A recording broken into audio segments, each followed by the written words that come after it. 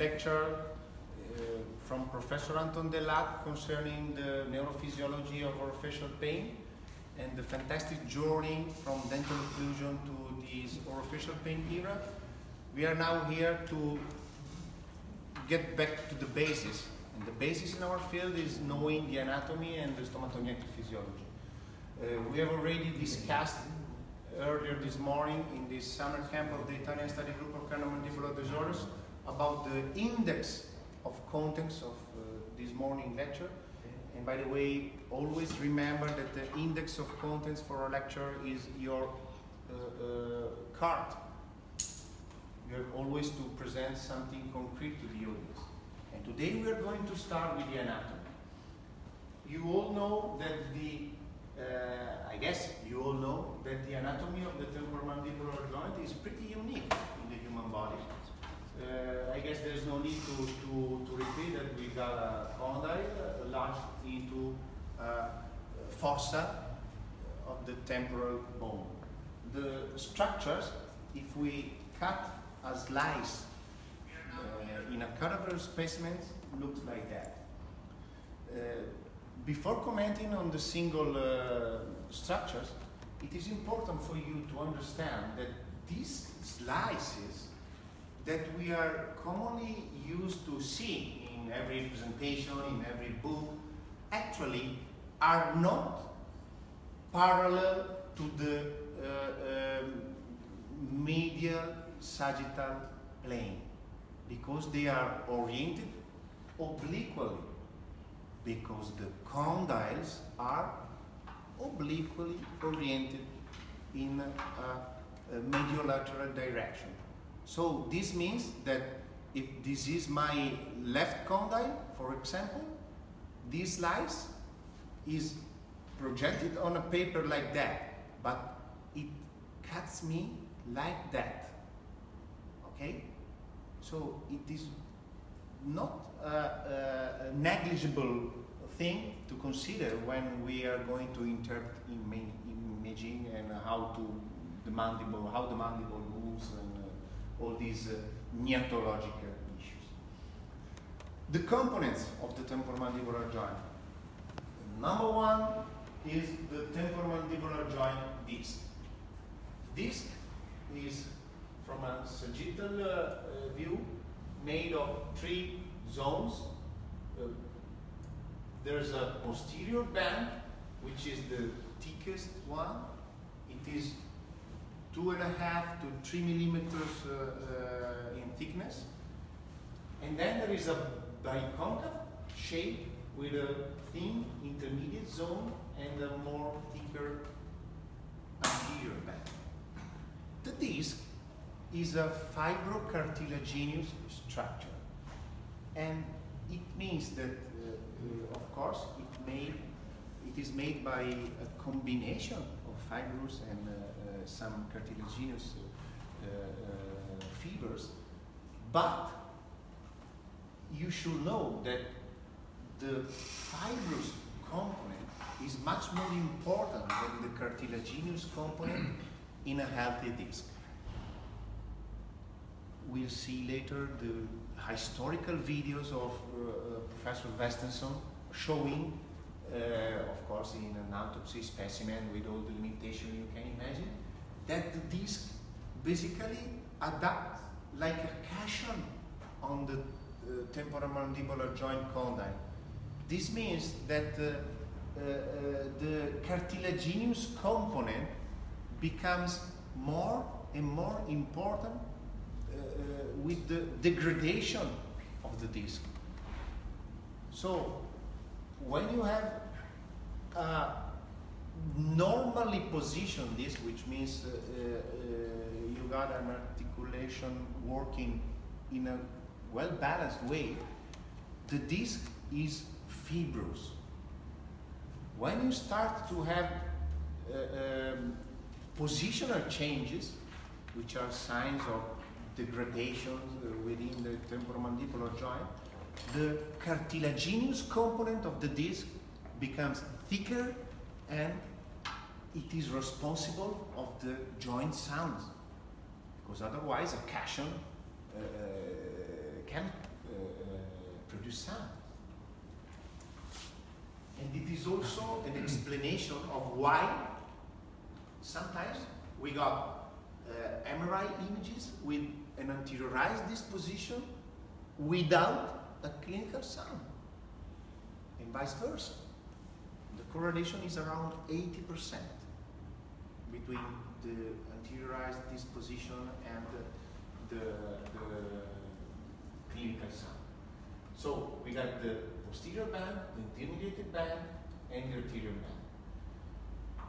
In what is considered a physiological disposition, the posterior band, posterior band is located around mid-noon with respect to the apex of the temporomandibular condyle.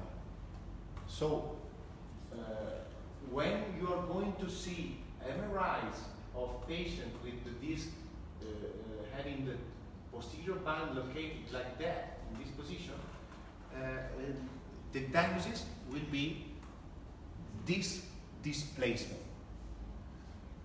Or better, Anton, I don't know if you agree with me, anteriorized disposition. Because the word displacement uh, carries uh, uh, with itself a connotation of disease, exactly, exactly, which is actually uh, uh, not what we want to, to, to convey as a message because it is strange. We, we, we, we are saying that uh, that condition is not an indicator of pathology, that it should not be treated, and we call it displacement. Yeah. So we are making the same error that all these gnathologists do when they call dysfunction uh, a sign uh, of uh, imperfect movement on the sagittal plane or uh, a mandible that moves slightly uh, slower than the ideal. Okay? So uh, the prefix dis, which means uh, something wrong, okay? It has a negative connotation. In my mind, should be used more carefully, especially in the future uh, classification. And this kind of uh, uh, proposals have, been already has been already made by several people over uh, the years, and uh, have been personally uh, surprised by the fact that in the new DC TMD it hasn't been uh, uh, considered. Uh, but I'm sure that in the future uh, we are going to, to, to move forward also in this field. Uh, I'm not saying that having displaced disc is normal, okay? Because again, Mother Nature has designed our body to have a disc more or less here.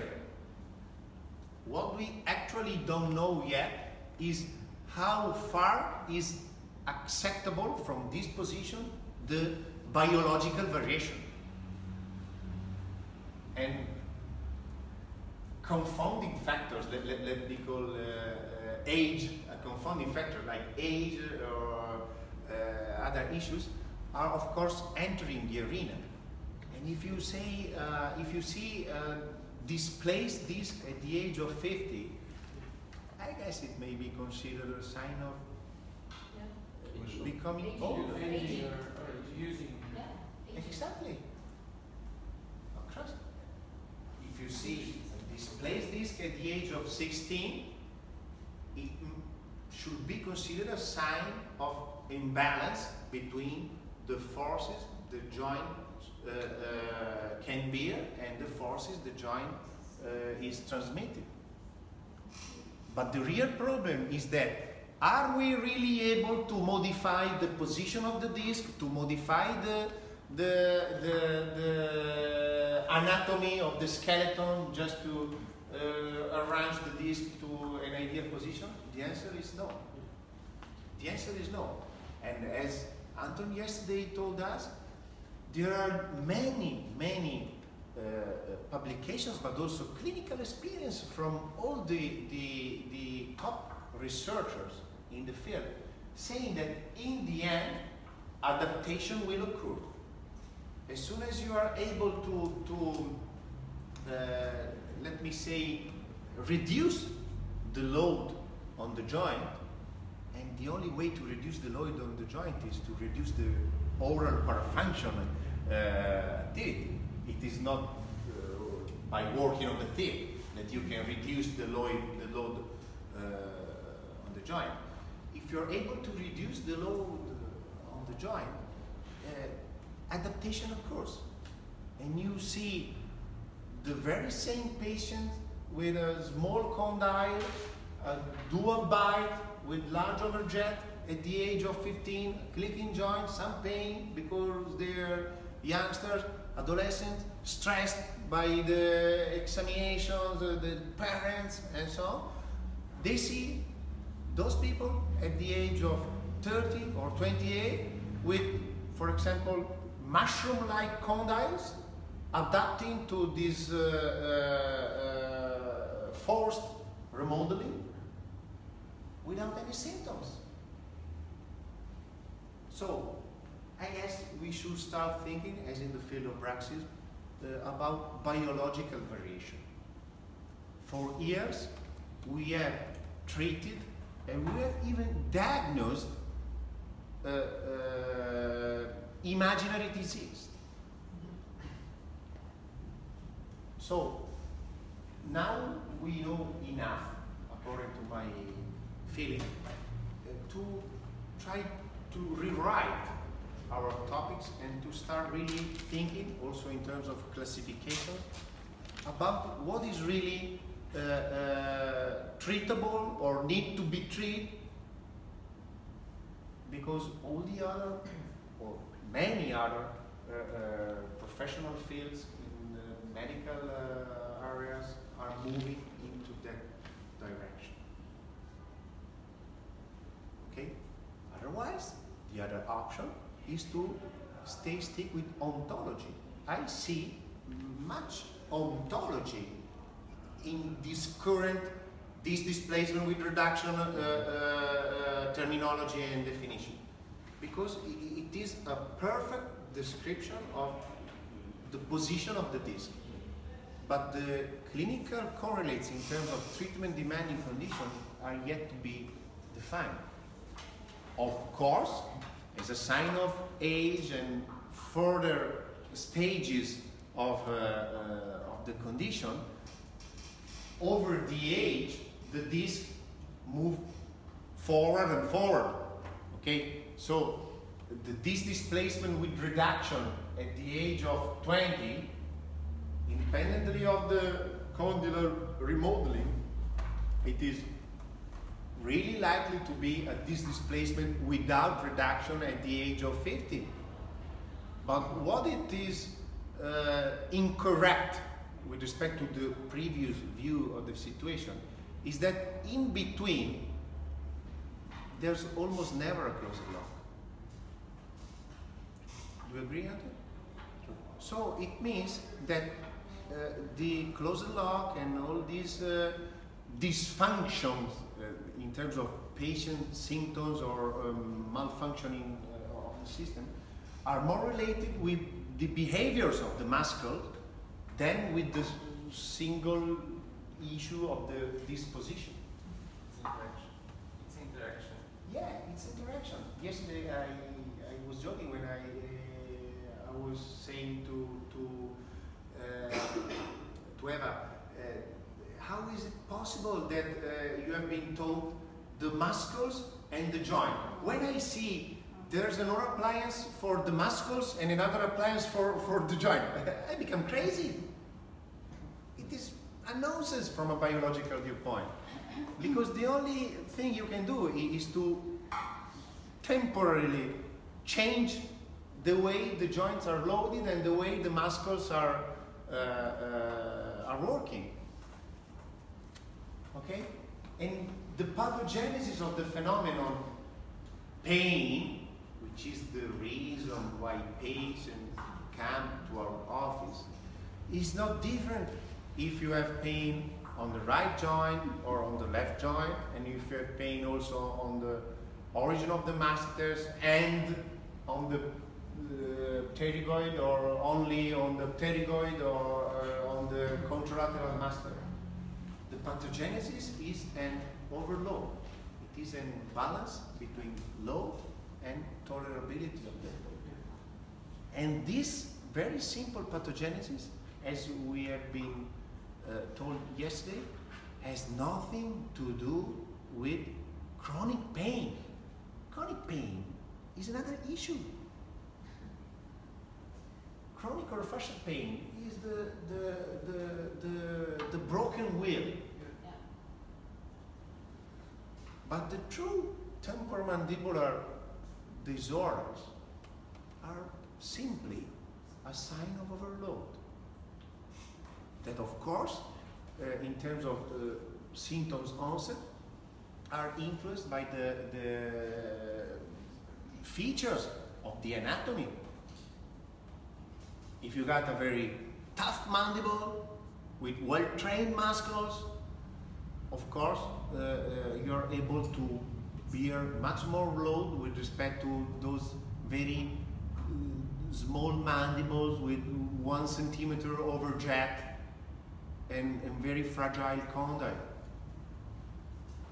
And it is not by chance that you see the early click in the adolescence, the early pain in the uh, age of 18 or 20, in those mostly female individuals uh, uh, with larger jet and uh, or hyperdivergent facial morphology. But there's nothing you can do. I'm disturbed when I listen to something contrary. There's nothing you can do. That's Mother Nature. If you're born with a one centimeter overjet and a small mandible, I'm sorry for you. I will be with you along the path of your life to try to teach you uh, to not to overload your mandible. But I'm one meter eighty, so I'm pretty tall for Italian standard. I would have to uh, become a basketball player and do what Russell Westbrook does, dunking 360 degrees. Uh, I cannot do it. Mother Nature uh, uh made me 180. So we should stop applying the concept of ideality, which permeates dentistry, to the field of TMD pain.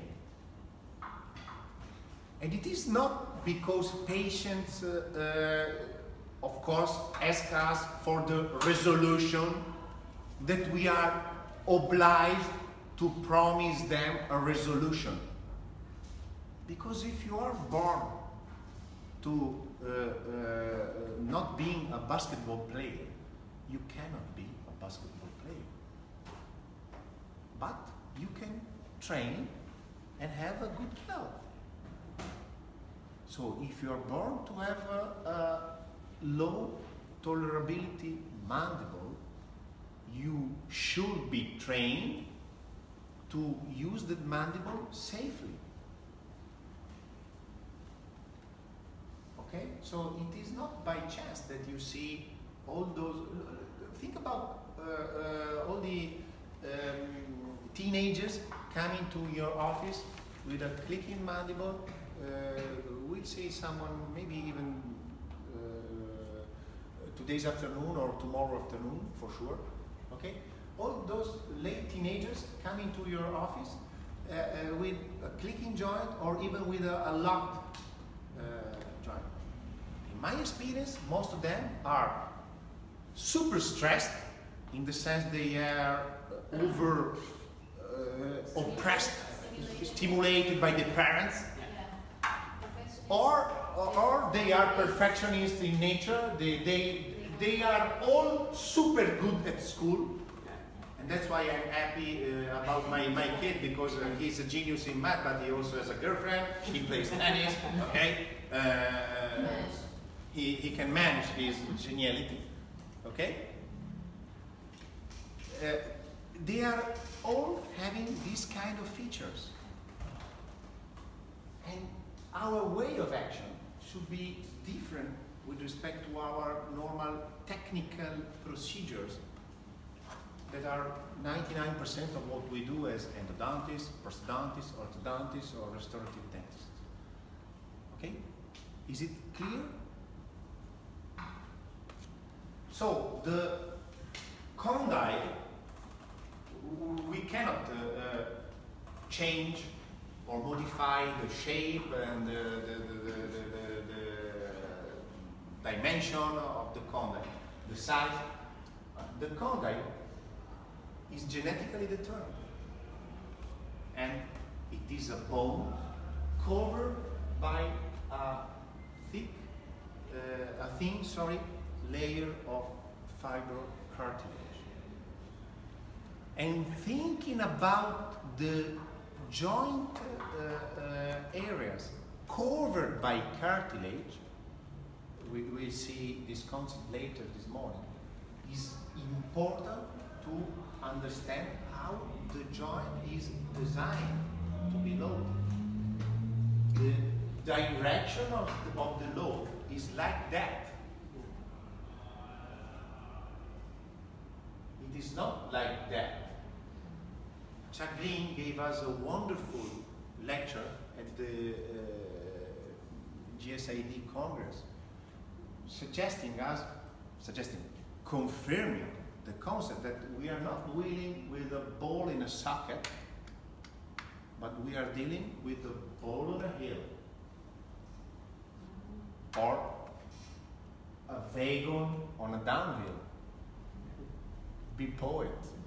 Do, de- define, define it uh, uh, however you want. But the concept is that we don't have a hammer and, and a ground. Okay? So, terminologically, we got a condyle, the mandibular uh, surface of the condyle. We got the bone marrow. Bone marrow can become uh, really uh, um, stressed in terms of low perfusion. Sometimes you can have a high level of effusion within the bone marrow. And then there's the temporal surface of the temporomandibular joint, which is also covered in this area until here, basically along the articular eminence, which is loaded by cartilage. Cartilage is not here. The bone here, separating the temporomandibular joint from the uh, um, facial, the, the, the medial cranial fossa, is really subtle. So there's no cartilage, and we got a very subtle uh, bone to separate our joint from the brain areas. So, how could it be biologically plausible that the position of the condyle is uh, something uh, uh, rearmost in the glenoid fossa? If the anatomy is designed to work this way. Okay?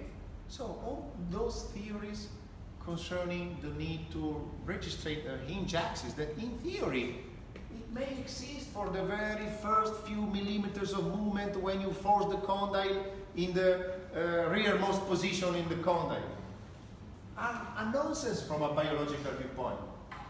And as a, a general practitioner who performs prosthodontics, I am an active member of the Italian Prosthodontic Society. Okay? And I see many, many colleagues working with all those theories of mandible positioning and finding the hinge axis to retrude the mandible that are still wondering why, after the restoration, they got the posterior open bite. Oh, if you knew the anatomy, you should understand that you force the mandible into a non-natural position. And Mother Nature, sooner or later, wants the mandible come back to the natural position. And it's not Manfredini or the literature or the lab who says that. It is Mother Nature. And you are pretending to, to, to, to uh, make anatomy with an instrument. To redesign anatomy, functional anatomy. Okay? There's the retrodiscal area, which is where the vessels and nerves are located. So, from a didactical viewpoint, I must say that pain origins from here or from the synovium, which is uh, uh, split into by the disc, the posterior, posterior uh, inferior joint compartment and the anterior superior joint compartment.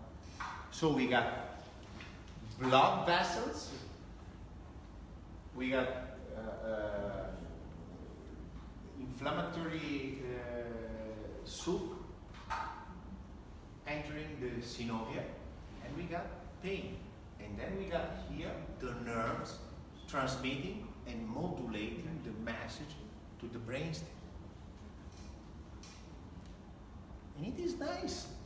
Another thing, when I listen to people, uh, uh, even neurologists, uh, calling TMJ pain as a trigeminal pain, of course,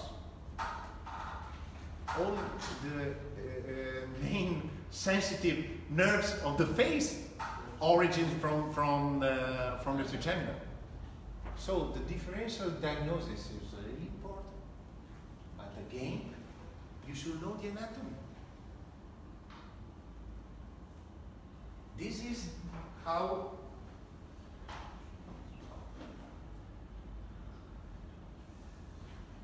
the TMJ works. I guess you, you have seen this kind of video on YouTube.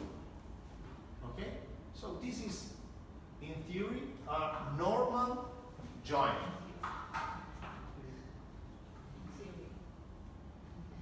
In theory, in the sense that uh, it may happen that this patient has pain. Sorry.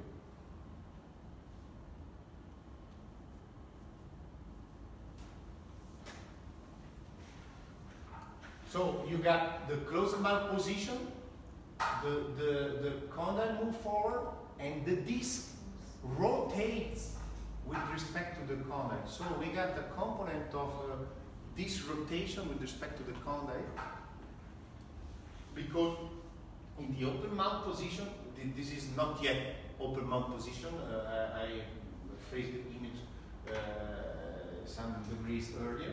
But anyway, you are seeing that the intermediate zone is designed so uh, uh, just to be positioned in between the uh, condyle and the articular eminence in the open mouth position. Okay, again, Mother Nature.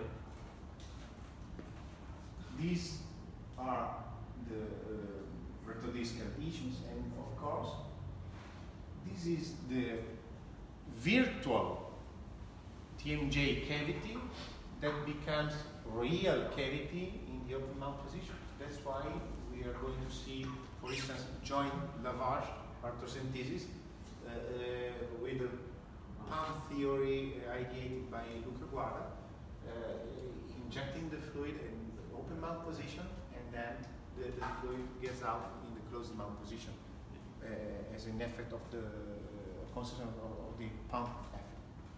Okay? And what you can see from this image, from this very short video, is that the disc, as I told you before, is pretty adaptable to the condyle. So um, it is not a very uh, tough, very cartilaginous uh, structure. Okay? becomes more and more when with age and function and uh, external factors it becomes uh, overloaded or simply it became used. So if I take this disc with the formed uh, uh, shape, of course, it is much more predominantly cartilaginous than fibrous with respect to the, the disc we, we have seen before. Okay? But is it a really altered, a dysfunctional anatomy? We should, the, the, the safest answer is that we don't know. Because we have to correlate all the clinical and imaging and anatomical features to really understand what it is important for the patients. Okay?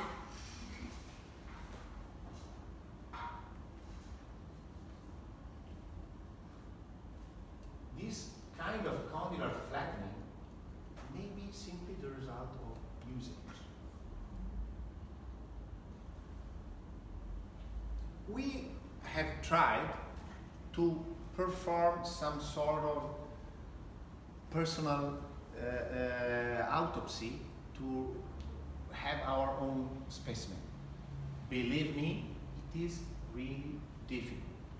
And what I've learned from this experience, together with Professor Ferdinando Paternostro of the University of Florence in Italy, Antoon, I don't know if you agree with me, is that uh, most of the uh, autopsy specimen we seen is are more or less artifacts because they are really difficult to to to create.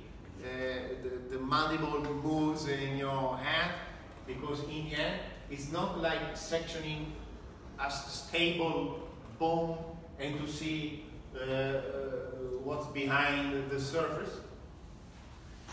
An autopsy of the temporomandibular joint requires to do something like that. And when you cut everything away, of course you can uh, uh, do good pictures and you can have uh, all the textbook-like images you want, but it is not really easy to understand issues like the insertion of the pterygoid, the form of the temporomandibular joint disc, or even where the disc finishes and starts the capsule or the ligaments or, or the, the, the muscle. So there's a lot of speculations on these issues and the reason is that it is really difficult to, to have very, very good specimen.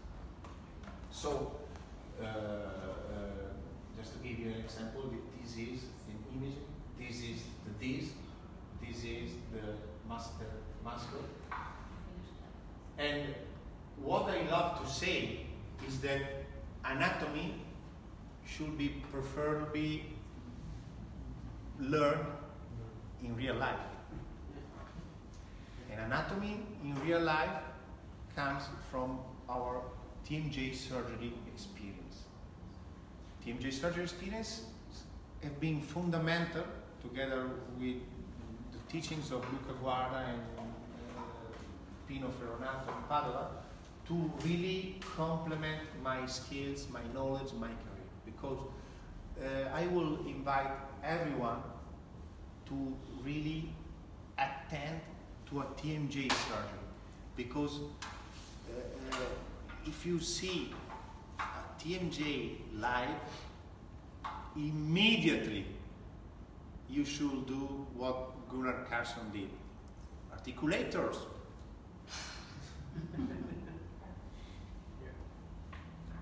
That's the most uh, uh, uh, uh, frozen shower experience I've had in, or one of the most frozen shower experience I've had in my life.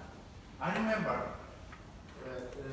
that during the first, very first presence in my of my career in Padua, in the surgical room, I went there as a young uh, dentist. Uh, they, they wanted to know my feelings as TMD experts, and uh, the first thing Professor Ferronato he passed away a couple of years ago, told me is, oh, a tattoo doctor, I don't agree.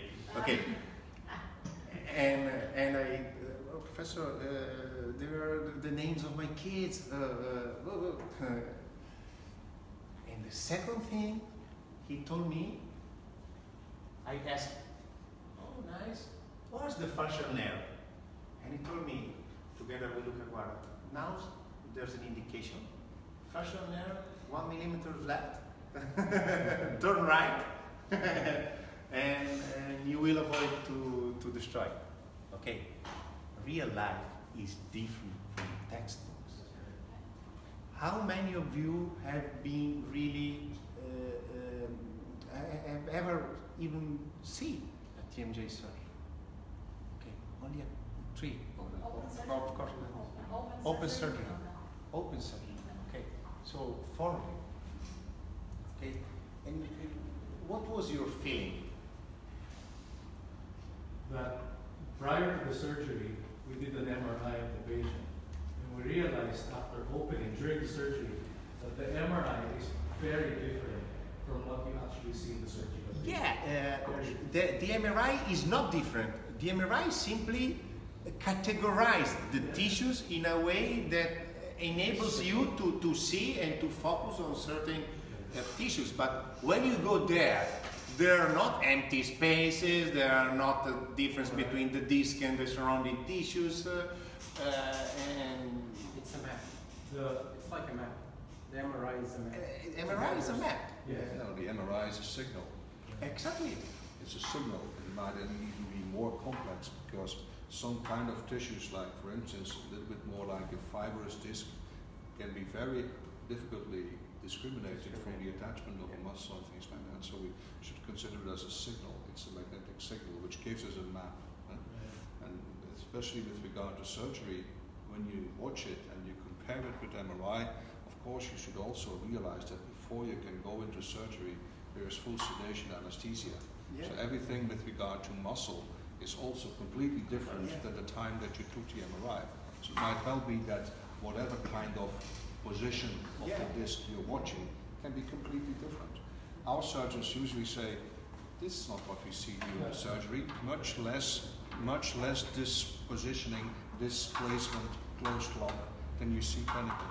And might be partly due to the fact that in the relaxation, of course, you Yeah. have a completely different. Uh, I remember of a patient, uh, very tough experience. I remember of a patient uh, uh, with clinical and computerized tomography diagnosis of ankylosis. Uh, we were not able to get her open the mouth, yeah.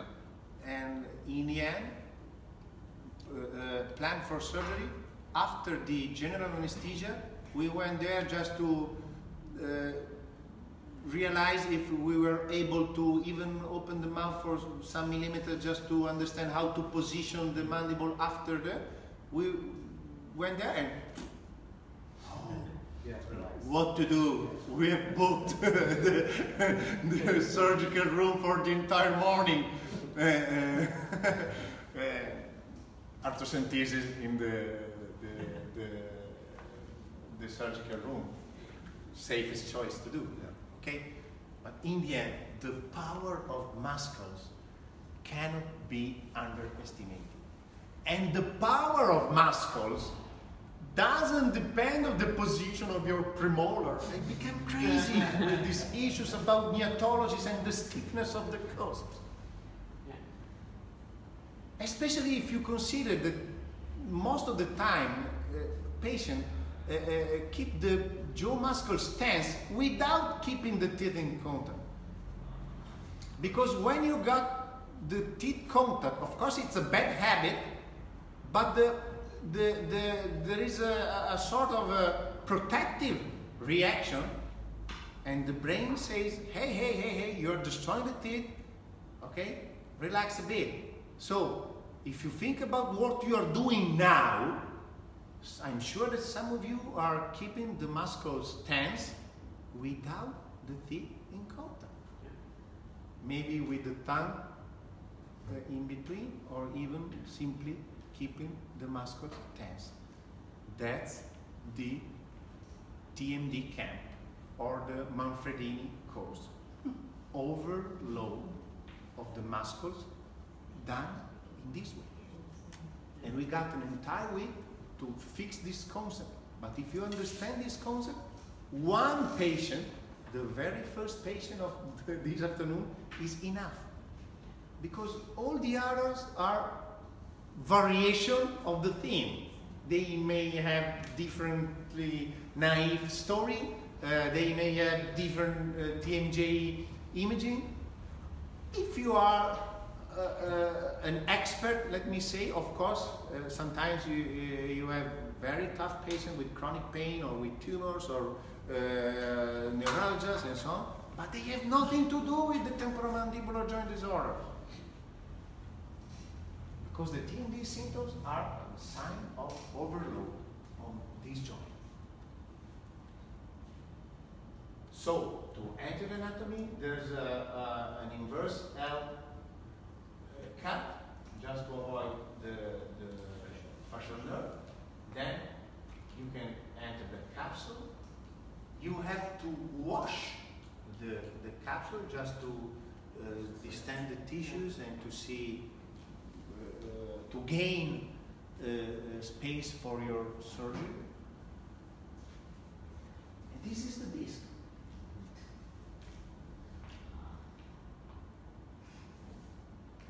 Okay?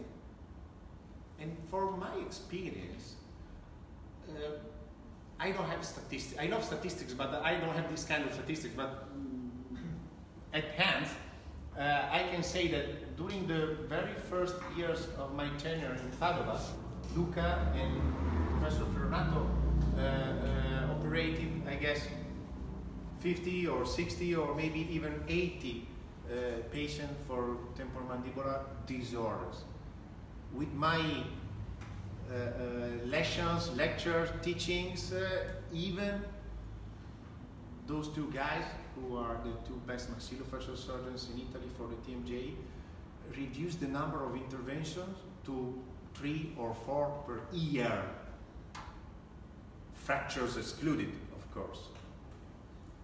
Because the only true indication are ankylosis and super severe arthrosis uh, just to uh, uh, try to do something. Of course, we have the option of uh, uh, positioning uh, TMJ prosthesis. Okay? But the indications for surgery, just because of what we know about the relationship between anatomy and uh, function and symptoms, have been progressively reduced. Okay? So, again, sometimes you create space. This is uh, a human uh, uh, amniotic membrane. Okay? Position to uh, replace the disc. Because when you get the disc out, if you close the, the, the, the, cut and, and uh, finish your intervention without putting anything in between the, the two joint surfaces, what's going to happen? Localization fibrosis. Ankylosation, because you are provoking an hemarthro. Okay? And you can see a marthro even uh, uh, after the positioning of TMJ prosthesis if you don't put anything in between. And you know why many pure people with knee prosthesis or hip prosthesis have such difficulties to move around or to gain uh, some sort of lateral flexibility because they got secondary ankylosis around the, their, uh, their prosthesis. Of course, if you consider the time that is needed to generate this secondary ankylosis and the time that on average uh, the, the, the prosthesis of the knee are positioned, uh, I, I, I guess we, we could accept it. Okay, but in theory, some material should be placed in between the joint surfaces, also in the knee and in the hip and shoulders and so on. Okay, then the, the, the, the surgical sketches are positioned by strata and there are really no exitus, no scars, because the, the entrance cap is named along the periculary uh, foil. Okay? This was the old disc repositioning technique. So take the disc and fix it with minuscules, uh, uh, forcing it uh, against the condyle by trespassing also the, the joint capsule. Uh, a nonsense intervention, Yeah. uh, of course relapsing, because as soon as the capsule is traps, and it may happen uh, with this forced minuscule uh, position, uh, the, the, the disc position will uh, relapse forward. Okay? This is another technique. Uh, fat tissues from the abdomen, so twofold aims, liposuzione, and, uh, and uh, uh, Yes, we- we- covering and replacement of the, the disc. Okay, this is a technique mediated by a very nice uh, Australian surgeon, George Dimitroulis, who was the inventor. Okay, but this, it is just to show you something. So, uh, I guess we can uh, uh, stop the live and send our best wishes to all the audience. We could stay together again on Thursday for a brief treatment, uh, for a brief live on some treatment topics, okay? Just to show uh, what we are discussing.